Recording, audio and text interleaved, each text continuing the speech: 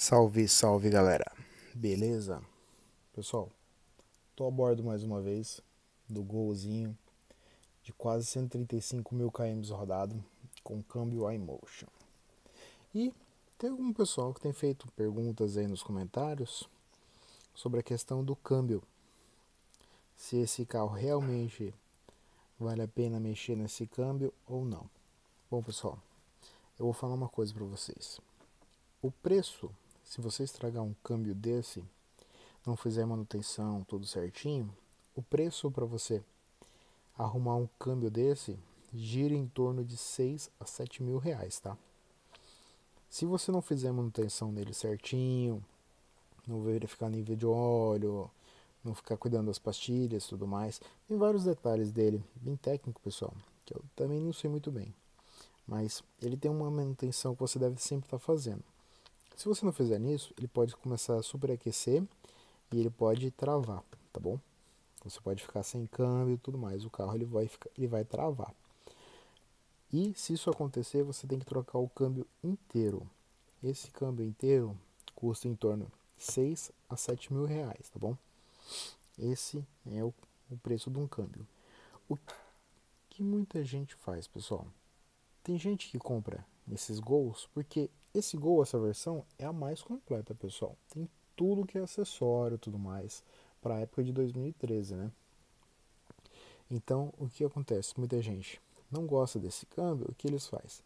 Ele compra um câmbio manual e manda substituir. Qual o valor para substituir um câmbio desse para um câmbio manual? Aproximadamente dois mil reais, pessoal.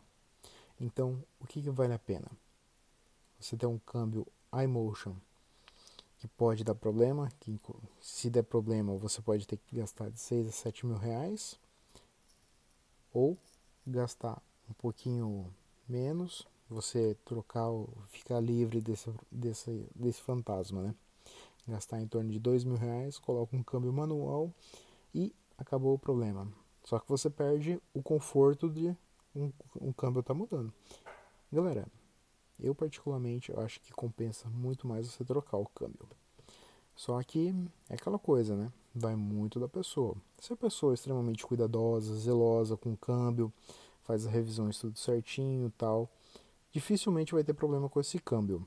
É um câmbio excelente, de uma ótima durabilidade e tudo mais, desde que você faça as manutenções certinho. Caso contrário, coloca um câmbio manual que você vai ser muito feliz, tá bom?